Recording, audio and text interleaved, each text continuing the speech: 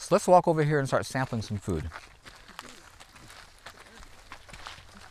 Say, Paul, if that sequoia was a cedar tree, a red cedar, how, how would that Rhodey be, doing? Would it be doing fine? Fine. Look, look in, look in the woods. You see all those cedars out there? You see those western red cedars in my woods back there? Right, right, right here in my woods, right up front of you. Those Yes. smaller trees, that's all western red cedars. Yes. If you look at the ground below, salal is growing great under them. And so they told you in school, you can't use cedar. That'll kill your ground. That's toxic. Are you following me? Yeah. That's what you're told. But in the summertime, when it gets hot, they flag, meaning the interior needles turn brown more than any conifer in the woods because they're very shallow rooted, roots at the surface. And all that stuff falls in the ground and no one rakes up and hauls it off. And everything around is very green, doing quite well. Excuse me. Excuse me. So I keep coming to this thing in nature and says, and, and what I'm getting in the spirit is to see the tannic acid in the cedar by the time it gets to the roots of the composting process, isn't there anymore. It may hit the ground toxic, but through the composting process, it's been changed hmm. and all that's dealt with. Because the creator who made all this stuff, you know, I asked the creator about that. Someone told me you can't use you know, walnut or cedar or pine. So I asked the creator, he has a sense of humor. You know what he told me? I have no landfill somewhere off the universe where I'm taking that stuff you can't use. I just started busting up. I have no landfill somewhere off in the universe. I'm taking that stuff you can't use. All that falls in the ground, breaks down, turns into compost, and it's going great. Duh! It's just so fun. And so he's so cool because I'm a slow learner. He had a tree service bring me an entire truckload of walnut wood chips. We're talking walnut wood chips, 100%. And they dumped it in a place to Sequim, which is a desert, and it was in August. So I have a four and a, four and a half foot raised bed. Are you following me? Raised bed, you know, a truckload. Somehow a walnut with the chipper didn't break and starts growing in, in August out of the top of this four and a half foot raised bed of nothing but walnut chips. And I says, God, you have my attention. There's no water happening here, and there's no soil, and this is nothing but toxic walnut, nothing grows in. And this is bright green, and it's not yellow. In October, it was three feet tall, totally gorgeous. And my brother dug it out, it had three, three feet of roots. He went and planted a good tree. And it happened in a pile of wood chips that were walnut with no water, four and a half foot raised bed that was really dry. Just- So I started to get it like, okay, I get it. This is a growing material. This is my face. I can't argue with it. So I always encourage you to go to nature and watch what it does and then just adjust your thinking because you got lied to.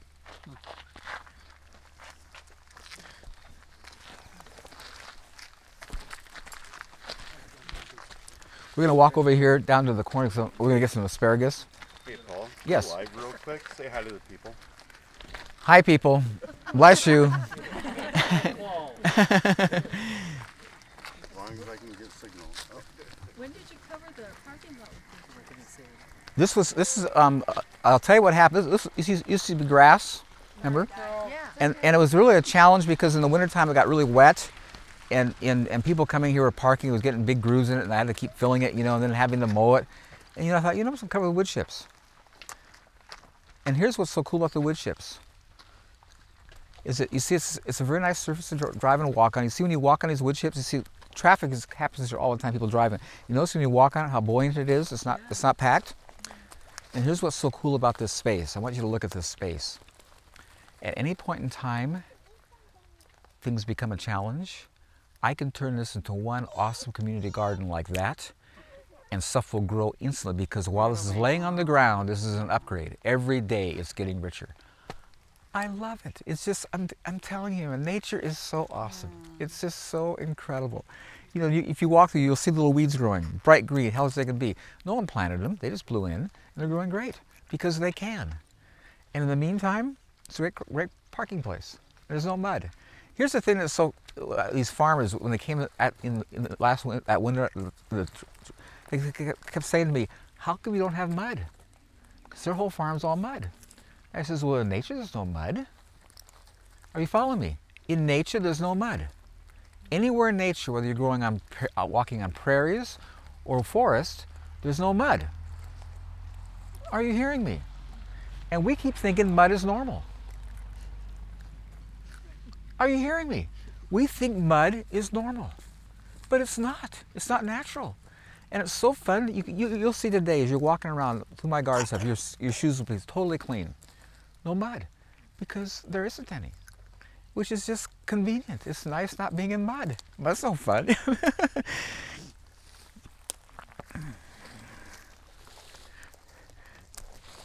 I don't know if you noticed, but I've, I've I have a real challenge happening here. You see how all my trees are, are completely defoliated?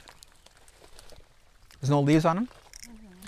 For example, you see that cherry tree right over there past the cars, straight ahead? You see how full the leaves are on that Yes. compared to this? Well, I got deer. See, I used to have a really good dog, and we had to put her down. And so I have, I have deer now coming, you know, defoliating all my trees. And What are these small holes? Those are from woodpeckers who didn't find anything to eat and wor- worked hard for nothing. Oh You can, you can see they're all over the place here, you know, know, and, so and it's yeah, and uh, but they don't they, they, they don't they don't hurt the trees any because the trees are well. They're all over. My dog was a, a chocolate Labrador. And she was 16 years old, and she didn't have one gray hair.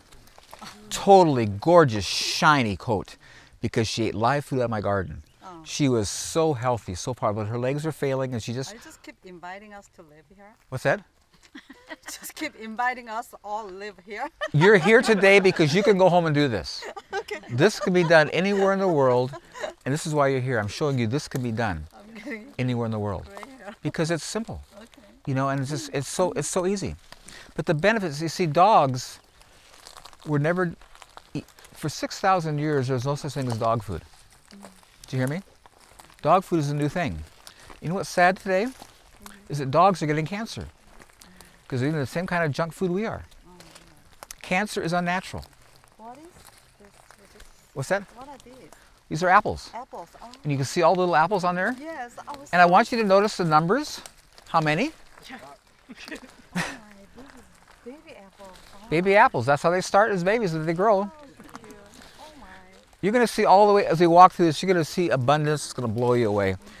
And, and you know what? They tell you that, um, here's the irony. You know, you see my trees are pruned very open. You've never come to an orchard where you see trees so open. They're usually very full. You know my trees are pruned open? I'm trying to reduce the amount of fruit I get. Did you hear me? I'm trying. I'm making an effort. I'm working hard to get less. And it's not working. I'm failing. I'm telling you, this abundance is a major challenge. it's so fun. So, Paul, are you looking for a new dog, or what's? Yeah, I'm looking for a new dog. We have a dog. She's a beautiful dog. We love her, but she's a she's a um, retriever, and she's social, and she wants to be everybody's friend. But my Labrador, she was a, an alpha, and this was her home. Anything else coming here was not welcome, and she was very effective. So we need to find a good dog.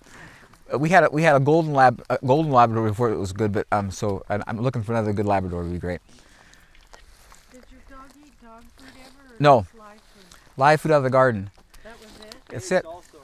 What's that? Eggs. Eggs are the most complete whole food that exists. And my chickens, when you see them today, they have they're, they're black chickens, but you look in the if it's not in the sun, but you'll see in the light, they have an effervescent blue sh- sheen shining off them because they're so healthy. Mm-hmm. My chickens are eating far better than most people. I'm being honest. All people probably. I mean, you look at this. You, you you're gonna eat these these lamb's quarters over here. You're gonna see how po- this is their daily food, and so they they are so. And, and see my eggs.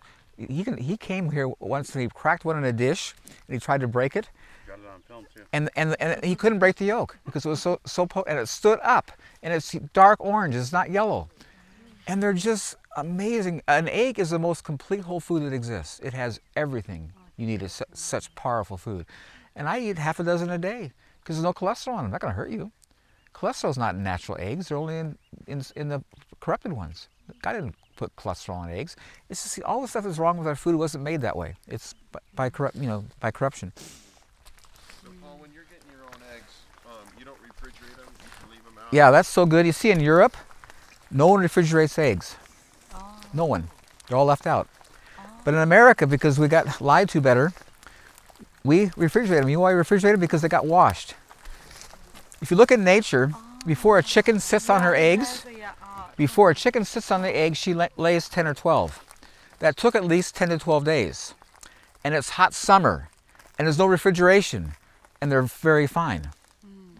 You see, there's a coating on eggs the Creator made to protect it from breaking down and being disturbed. And when you wash them, you take that coating off, mm-hmm. and they won't last. Mm. I have eggs sitting in, on my shelf for a month, out in the open, and they're fine.